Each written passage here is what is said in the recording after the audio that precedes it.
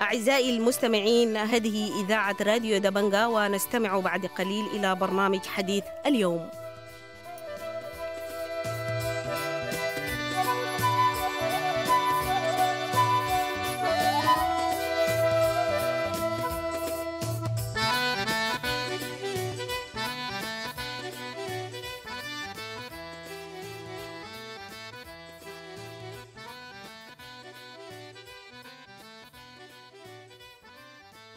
أهلا ومرحبا بكم مستمعي راديو دبنج الأعزاء في حلقة جديدة من برنامج حديث اليوم.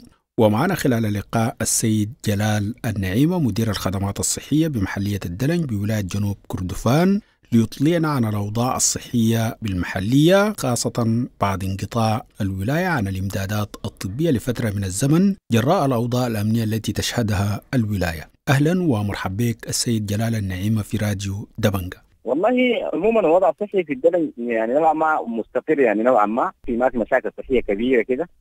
تذكر ما عدا يمكن زي ما بيقولوا الأمراض الروتينية العادية. اللي زي الملاريات الإسهالات الحاجات دي. بتقريبا إحنا ممكن الفترة اللي فاتت دي كلها انقطاع الدواء من البلد. دي واحدة من الإشكالات الكبيرة اللي خلت ال- اللي هو الأمراض تتفاقم يعني. بالإضافة للشغل بتاع الملاريا لأنه كثير الان أصلا ما اشتغلنا شغل بتاع مكافحة. الفترة اللي فاتت الخريف ده كله ما قدرنا نفذنا أي شغل بتاع يعني مكافحة لل- اللي هو النواقل مثلا فالمعينات طبعا هو لظروف الحرق وكده. المعينات كان بتجينا من بدري يعني شهر خمسة عشان الناس تتدخلوا لشرطة طوارئ الخريف وكده. وقدر الله إنه آه، السنة دي نهائي ما اشتغلنا أي شغل بقى شغل محلي يعني. فده خلى البعوض يكون موجود وما حصل له أي مكافحة وبالتالي حصلت حالات ملاريا كثيرة يعني.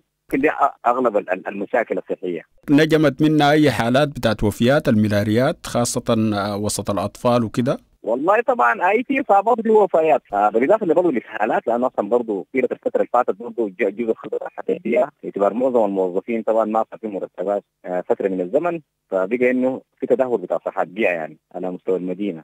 وده خلى حاليا إنه برضه شكل الاسهالات بالذات المواقع العامة الأسواق وغيره يمكن أخيرا نفسي في الأيام الأخيرة دي الناس حسوا كمواطنين وكمبادرات برضه حسوا بال- بالخطر وذاك ان إحنا تحركنا معهم باعتبار إنه معظم الموظفين اللي هم كانوا شغالين في الشغل ده كانوا هم يعني ما صرفوا مرتبات بعد ذاك يقدر يمشي يشوف محل إنه ممكن يتلقى زي ما يقولوا معاش من وين. فبعد ذاك هنا ومع المبادرات مع حكومة المحلية هنا الناس شغالين هسه حاليا زي حملات صحة بيئة آه للمحلات العامة زي الأسواق يمكن في حملة صحة بيئه في لمدة أسبوع بدات تقريبا من يوم السبت الفات بتنتهي يوم الأحد الجاي. فدي قلنا أقلها بالمبادرات الموجودة على مستوى الدلني والحكومة الموجودة والمجتمع المدني إنه الناس يحاولوا يتحركوا عشان نقدر نقلل من شكل اللي هو تجمع النفايات تخلص منها مكافحه الذباب لأنه برضه النفايات دي عاملة ذباب بكميات كبيرة.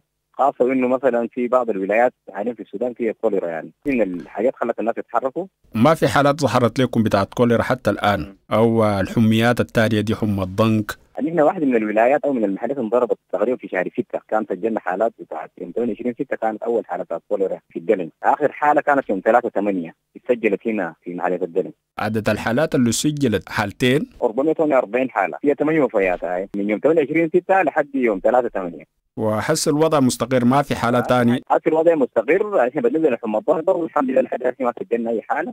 وفي الأيام الجاية دي برضه مع المبادرات مع حكومة المحليه اللي حملات بتاعت رش للبعوض يا هو بمجهودات محلية. عشان نقلل من كثافة ال- اللي هو الناقل بالذات الايديس اللي هو اللي هو البعوض الناقل لل- للحمى الضنك خاصة إنه شمال كردفان. الآن فيها حالات يعني وإحنا متاخمين لشمال كردفان.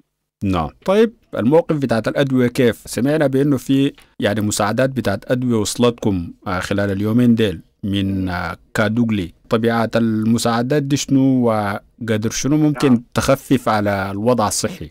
والله جاتنا غافلة يمكن طبية من وكالة الأمم المتحدة اللي هو من WHO. وصلت هنا إحنا في الدولة هنا وصلتنا.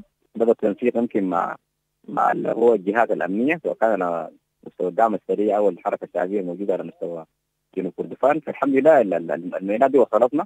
في الدلن يمكن تخفف يعني نوعا ما انه في أغلب الأدوية كانت عندنا فيها مشاكل. حاليا هي يعني نوعا ما توفرت. يعني رغم إن هي ما ما زي ما بيقولوا بتكفي الحوجة كاملة لكن نوعا ما بتخفف من شكل الحاجات.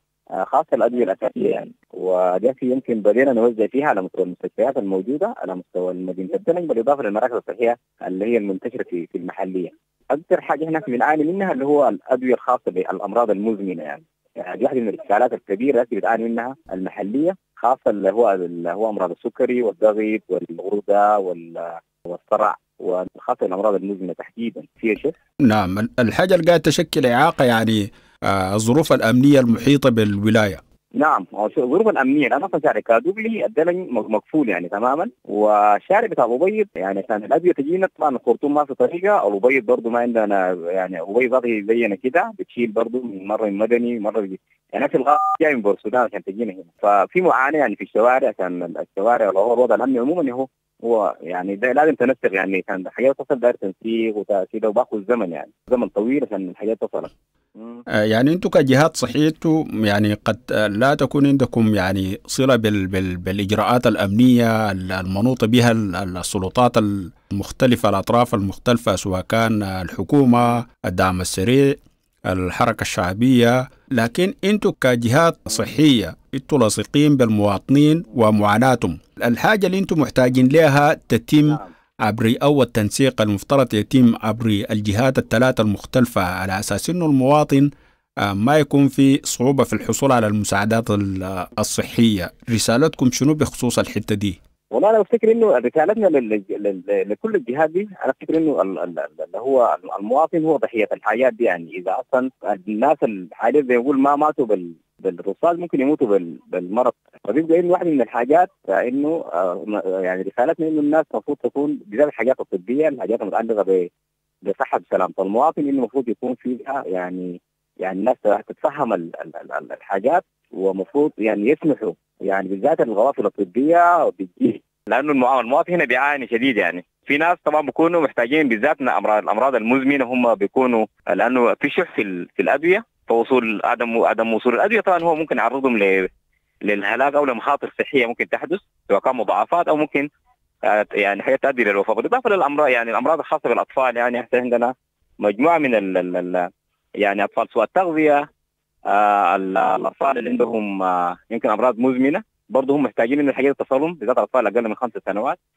آه فبرضه دي واحدة من الحاجات المهمة إنه يا ريت إنه كل الجهات الأمنية الموجودة على مستوى المواقع المختلفة إنه يا ريت يسمحوا بالحاجات دي ان إحنا نقدر نضمن آه سلامة المواطنين هنا يعني. وإنه يتلقوا الرعاية الصحية وإحنا نقدر نقدم لهم الرعاية الصحية في مواقعنا أو في مؤسساتنا الصحية.